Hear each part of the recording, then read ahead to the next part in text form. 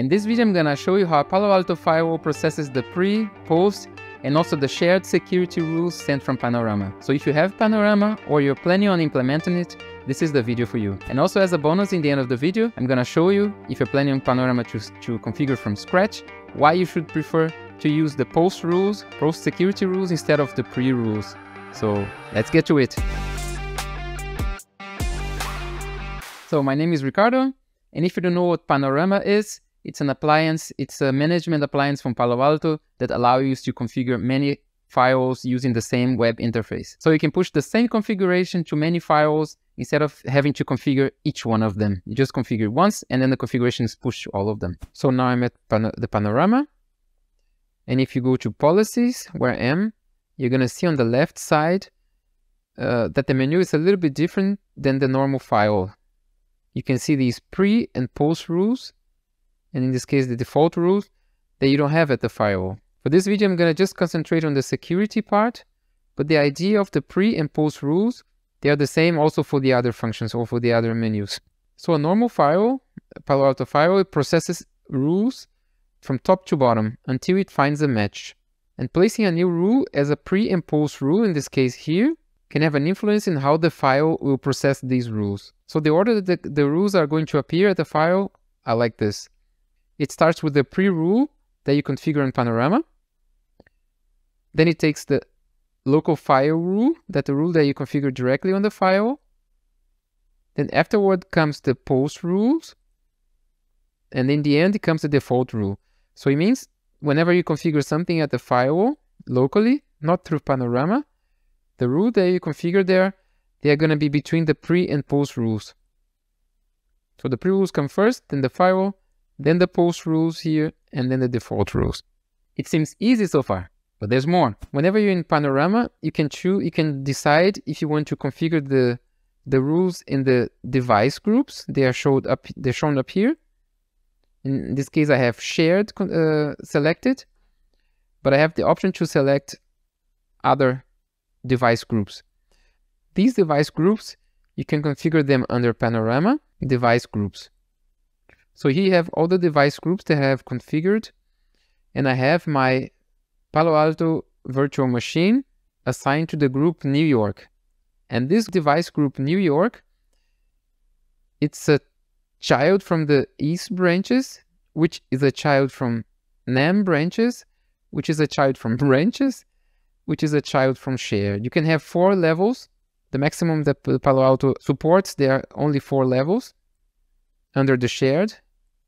So I have branches, NAM, East, and then New York. For this video, I'm to use this example of a device group structure that you can find on the Palo Alto website. I just built a schema like this and I just placed my firewall on the New York so that I can show you how these pre and post rules work in live. So in this case here, for example, if you configure an allow rule in the data center group, all files in the data center, as well as also in NAM, EMEA, West and East will receive the rules. Rules configured in the pre-rules are processed from most gen general to most specific. It means that the file starts with the shared, which is the most general one, and goes down this hierarchy. So a rule configured in West would never match if you have the same rule configured in NAM. On the other hand, if you configure the rules in the post rules, the file starts with the most specific ones and just and goes to the most general. It's just the opposite as the pre-rules. So for a file in New York, for example, this is the order that the file would process the rules. Well, that's a long list, but I think if we take a look together at the file and you can see it live, I think you, you will register it better. So now I'm actually at my, at my and I can see both default rules coming from Panorama. You can see that they're coming from Panorama because they're kind of yellow in the background. And now I'm going to configure a new rule allowing ping to the IP address 8888. And impor important, I'm going to call this rule local firewall rule.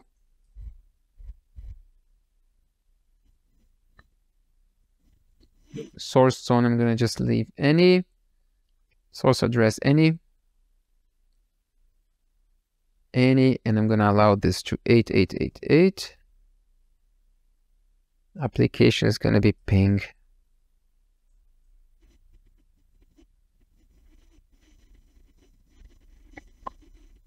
So there's my rule. Then I'm going to commit my configuration and I'm going to jump to Panorama. So in Panorama, I'm going to start with the pre-ruled under shared. And call it shared pre-rule.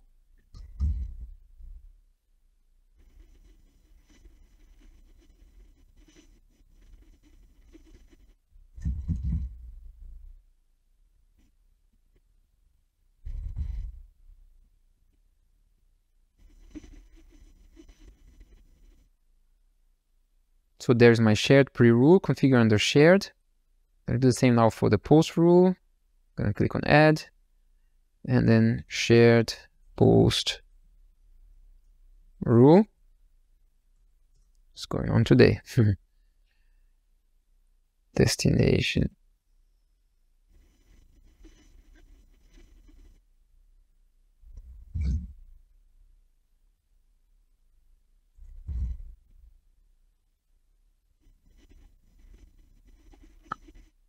This is my post rule now under the device group shared. And I'm going to do the, the same thing for the other device groups. Branches, NAM, East, branches, and New York, all the way down to New York. So I'm just going to fast forward so you don't sleep watching this video and I'll be right back. You can see here on the pre-rules that the shared rule, they come from the top all the way to the bottom, share the branches, the NAM, East, and New York. If we go to post rules, you're going to see that it's the opposite order. The most specific one, in this case, is the New York, my leaf from my uh, device group. It stays on top. And the shared one, that's the most generic one, it's on the bottom. You can see the panorama already orders it the way that it's going to be shown on the file.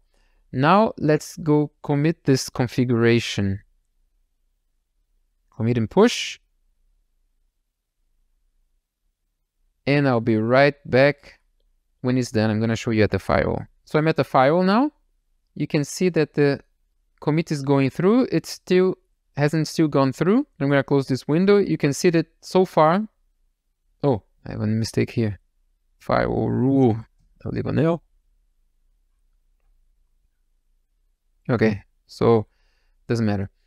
Um, there's a commit going on, of course, and this is the rule that I configured on the file. So, so far it's only this one and the default rules that came from Panorama before. Let me click on the task again to see, so 98%. And then we're going to reload this and take a look to see what the file does with this commit. I'm to try to reload now. Maybe you can see something. Yeah, so this is what it looks like on the file make some lines so we can identify what's pre-rule, what's post-rules in the at the file. So the first set of rules, let's say like this, they are the pre-rules, and it comes a, a little bit larger line separating the local file rules. In this case, it's just one. Then again, a stronger line. And then you have the post rules, and then again a stronger line, and then you have the default rules. But the important thing is to see notice the order of these rules. You have the shared pre-rule, the branches nam east, and then you have the leaf one regarding the device groups. And then this is the local file rule. ru. And then, let me just fix this. Rule. This one I have to commit locally. I'm just leaving it committing. Doesn't matter, close. And then you have the post rules. They are, like I said, on the opposite order. So the New York comes first and then the shared one is the last one. So you can see that the, all the rules, they are allowing the same thing, ping to 8888. So if I set the only rule that's going to work here is actually this shared pre-rule because it's the first one. All the other ones, they're never going to have a match because it's going to match first the shared pre-rule. Pre, pre so if I go to Panorama and say that I want this shared pre-rule to be a deny rule, all the other rules here, they're not going to be relevant because they're never going to have any match. And the connection to 8888 is going to be denied. So in the beginning of the video, I promised you a little bonus. What if your firewalls are already running and you're just introducing Panorama? Or if you're just introducing the Palo Alto firewalls with Panorama, everything together? Where should you place your rules? Probably you're asking your, yourself this question. Or maybe you, asked, you has, have asked before. My suggestion would be to use only post rules. If you do have different object groups, you need to pay attention that the most specific rules at the bottom of the device group hierarchy will take precedence on the shared ones. So in the when you whenever you use the post rules, you just need to, to be careful that the most specific ones they just take precedence. And the reason that, that I would choose the post rules is if somehow you push some rules where you're not supposed to, and you lose connection to your panorama from your firewall. Or panorama has a problem, it breaks, something like this. If you use only post rules on panorama, you can still configure on your firewall some local rules that would take precedence over the panorama rules that you have been pushing. So in this case, you, you will be able to change something using the firewall local rules. If you have panorama pushing pre-rules, for example, and then you push a de deny any rule from the pre-rules from panorama, it could be that you won't be able to override that with any local rules from the firewall because as you understood from this video, the pre-rules, they take precedence over the local firewall rules. I would still recommend you to use the shared pre-rules for deny rules if you want to implement globally some, some rules globally, such as deny malware targets using the Palo Alto feeds and stuff like this. You set these rules once as a pre-rule, usually shared, and then you just forget about them. So this will be my two cents. And that's it for today, guys. Thanks a lot for watching the video.